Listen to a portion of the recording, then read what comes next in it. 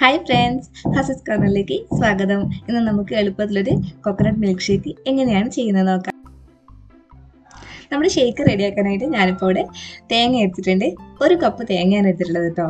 അപ്പോൾ ഇതിന്റെ ബാക്ക് സൈഡിലത്തെ നമ്മുടെ ബ്രൗൺ കളറുള്ള ഭാഗമില്ലേ അതൊക്കെ കട്ട് ചെയ്തിട്ട് വൃത്തിയാക്കി എടുത്തിട്ടുണ്ട്. പിന്നെ പാലാണ് വേണ്ടത് രണ്ട് കപ്പ് പാൽ പിന്നെ കുറച്ച് ഏലക്കപ്പൊടിയും കുറച്ച് പഞ്ചസാരയും കൂടി വേണം കേട്ടോ.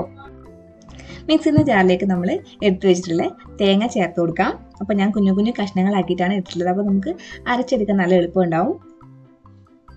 നമുക്കൊന്ന് ക്രഷ് ചെയ്തിട്ട് എടുക്കണം എന്ന് വെച്ചാൽ അങ്ങനെ ചെയ്യാം കേട്ടോ. അപ്പോൾ ഞാൻ ഡയറക്റ്റ് ആയിട്ട് ഇതിലേക്ക് ഇട്ട് കൊടുക്കുകയാണ് ചെയ്തത്. പിന്നെ പഞ്ചസാര വേണം രണ്ട് ടേബിൾ സ്പൂണ് പിന്നെ പാലാണ് വേണ്ടത് രണ്ട് കപ്പ് പാൽ വേണം. നമുക്ക് ഫസ്റ്റ് കുറച്ച് പാൽ ചേർത്തിട്ടൊന്ന് അരച്ചെടുക്കാം. ഇതിലേക്ക് കുറച്ച് ഏലക്കാപ്പൊടിയും കൂടി ചേർത്തിട്ട് ഒന്ന് അടിച്ചെടുക്കാം.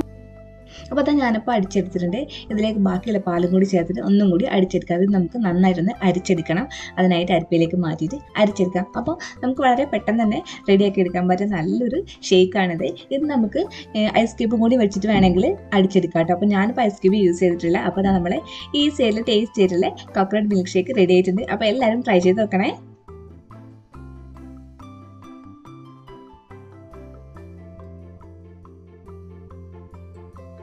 നമുക്ക് ഇതേപോലെ ഈസിയും റെസിപ്പി ആയിട്ട് വീണ്ടും കാണാം. Thanks for watching